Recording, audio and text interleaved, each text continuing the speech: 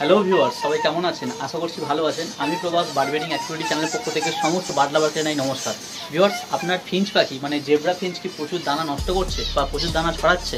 এই ব্যাপারটা নিয়ে আপনি চিন্তিত আমার মতন, তাহলে আজকে ভিডিওটি আপনার জন্য প্রথম থেকে শেষ পর্যন্ত দেখতে থাকুন। ভিউয়ার্স ভিডিওটি শুরু করার আগে ছোট্ট একটা রিকোয়েস্ট যদি ভিডিওটি ভালো লাগে, সঙ্গে থাকবেন। এবং যারা এখনও চ্যানেলটি সাবস্ক্রাইব করেননি, তারা এখনই সাবস্ক্রাইব করুন, করে অল বাটনটা ক্লিক করে দিন। কারণ পাখি নিয়ে আমি প্রতিনিয়ত বিভিন্ন রকমের ভিডিও শেয়ার করে থাকি, যেটা হয়তো আপনাদের কিছুটা কাজে লাগতে পারে। এবং এই ভিডিওটি যদি আপনাদের ভালো লেগে থাকে, তাহলে অবশ্যই একটা লাইক করবেন। এবং যদি কোনো রকমের প্রশ্ন থাকে, অবশ্যই কমেন্ট করবেন। আমি উত্তর দেওয়ার চেষ্টা করব। ভিওর্স আমি যখন প্রথম জেব্রা ফিঞ্চ আনি, একটা বন্ধুকে দেখেই এনেছিলাম এবং কিছুদিন পরে আমি যখন বন্ধুকে জিজ্ঞেস করলাম মানে মাসখানেক পর, তখন বন্ধুটা উত্তর দিয়েছিল যে জেব্রা ফিঞ্চ আমি তুলে দিয়েছি। কেন? কারণ বিশাল সমস্যা জেব্রা ফিঞ্চের।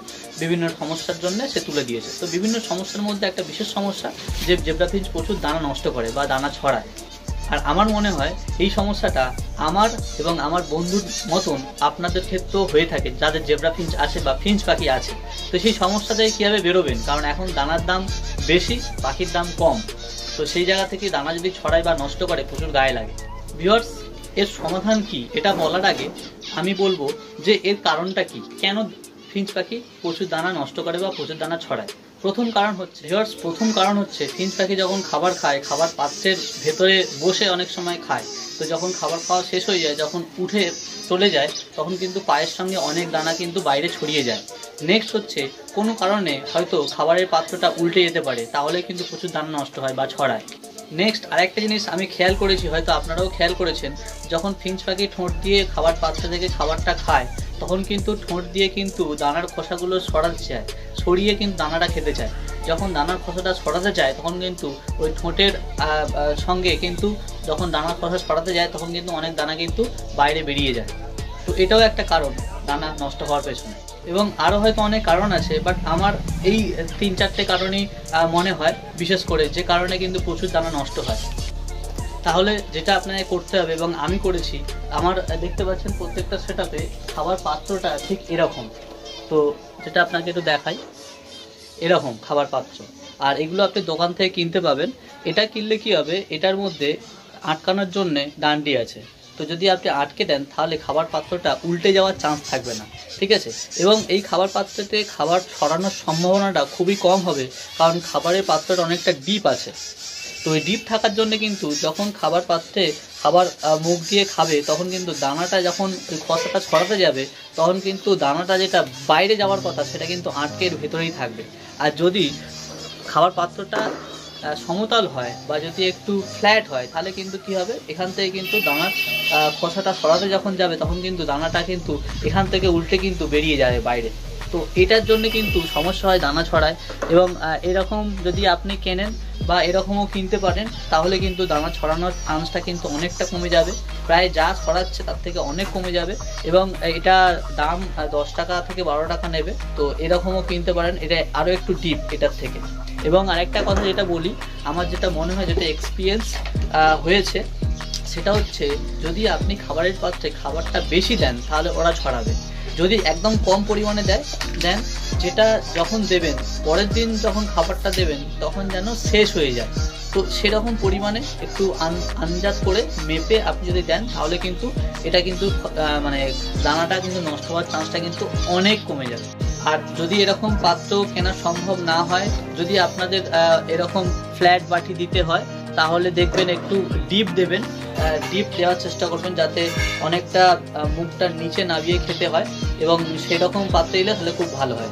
আর যদি এই পাত্রটা যেমন ধরুন এই বাটিতে যদি দেন, এই এই পাত্রে যদি খাবারটা দেন, তাহলে কিন্তু পাখি যখন বসবে বা উড়ে যাবে যখন ছটফট করবে, তখন কিন্তু এই পাত্রটা উল্টে যাওয়ার চান্সটা থাকে। তো সেই জন্য কী করতে হবে, যেটা আমি করি, সেটা একটা পাত্রের মধ্যে স্টোন দিয়ে দেবেন। এরকম স্টোন আছে যেগুলো হয় বা আরও বিভিন্ন ধরনের স্টোন আছে, তো সেগুলো এই পাত্রের মধ্যে দিয়ে দেবেন। তাহলে কি হলো, এটার ভারীর জন্য পাত্রটা কিন্তু ওয়েট হয়ে গেল এবং পাত্রটা কিন্তু উল্টে যাওয়ার চান্স থাকবে না। এবং স্টোনটা দেওয়ার জন্য কিন্তু পাখি যখন ঠোঁট দিয়ে খাবে, তখন কিন্তু ওরা ঠোঁটটা কিন্তু আর দানাগুলো দানার খসাগুলো সরাতে পারবে না। কারণ কি, এই পাথরটা দেওয়া আছে, এটা ওদের আঘাত লাগতে পারে, এই ভয়ে কিন্তু ওরা ছড়াবে না। যেটা দানা আছে সেটাই ওরা খুঁজে খাবে এবং সেখান থেকেই কিন্তু ওরা বাইরে যাবে। এবং এখানে কিন্তু যখন এই পাথরটা থাকবে কিন্তু, তখন কিন্তু আপনার উল্টে যাওয়ার চান্স থাকবেই না। আর এটা যদি আপনি মনে করেন যে এই পাত্রের মধ্যে, যে এখান থেকেও পাখি দানা ছড়াচ্ছে, এই পাত্রের মধ্যেও আপনি এটা দিয়ে দিতে পারেন। তাহলে কি হবে? এটার মধ্যেও থেকেও দানা কিন্তু আর বাইরে বেরোতে পারবে না। তো এরকম আমি করেছি, যেটা কিন্তু অনেক দানা নষ্ট হওয়া থেকে আমি রেহাই পেয়েছি, যেটা আপনারাও করুন। আপনাদেরও এই সমস্যাটা সমাধান হতে পারবে। আর একটা বলব, সেটা আপনারা করতে পারেন, যেটা আমি এখনও করিনি বাট এটা আপনারা এই আইডিয়াটা কাজে লাগাতে পারেন, যদি আপনাদের এই সমস্যাটা হয়, যে তারপরেও দানা অনেক নষ্ট হচ্ছে। আমার তো খুব কমই হয়, যেটা হয়তো আমার কতটা মনে হয় না যে দানা প্রচুর নষ্ট হচ্ছে বলে। যদি হয়, যদি এরকম পাত্র নেন যদি এরকম পাত্র থেকেও দানা যদি নষ্ট হয় বা এইরকম পাত্র যদি নেন, তাহলে কি করতে হবে? আপনাকে একটা তার দিতে হবে। যে তারগুলো যেমন যখন বাড়ির ছাদ ঢালাই হয় বা বিম যখন বসে, যে রডগুলো বাঁধে, সেই রডগুলো বাঁধার জন্য একদম সরু চুলের মতন যে তারগুলো হয়, সেই তারগুলো দিয়ে আপনি কিন্তু এপার থেকে এপার কিন্তু রিল ভালো করে টাইট করে বেঁধে দিতে পারেন। তাহলে কিন্তু পাখি ঢোকার চান্সটাও কিন্তু এর মধ্যে কম থাকবে, ঢুকতে পারবে না। ঠিক আছে? আর যদি এরকমও নেন, তাহলে কিন্তু কি করতে হবে? এই পার থেকে এই পারে পুরো রিং করে বেঁধে দিলেন, মজবুত করে, যাতে কিনা পাখি এর মধ্যে ঢুকে না খেতে পারে। এবং দানা ছড়াবার জন্যে ওই যখন দানাটা, এই তারটা যখন দেয়া থাকবে, তখন কিন্তু দানা ছড়াবার তার ভয় থাকবে। তো সে কিন্তু দানাটাই খাবে। ভিওর্স সবশেষে একটাই কথা, পাখিদের নেচার আপনি চেঞ্জ করতে পারবেন না। বাট আপনি এটা করতে পারেন যে সেই ছড়ানোর সংখ্যাটা বা ছড়ানোর পার্সেন্টেজটা অনেকটা কমিয়ে আনতে পারেন। যেটা আমার হান্ড্রেড পার্সেন্ট ছিল আগে, সেটা এখন টেন পার্সেন্ট হয়ে গেছে। তো সেটা আমার অনেক উপকারী হয়েছে ভিওর্স যেটা বললাম, এটা একবার ট্রাই করুন। অবশ্যই কাজ হবে, আমি রেজাল্ট পেয়েছি, তাই আপনাদের সঙ্গে শেয়ার করলাম। যদি ভিডিওটি ভালো লাগে, সঙ্গে থাকবেন। দেখা হচ্ছে পরের ভিডিওতে। Thank you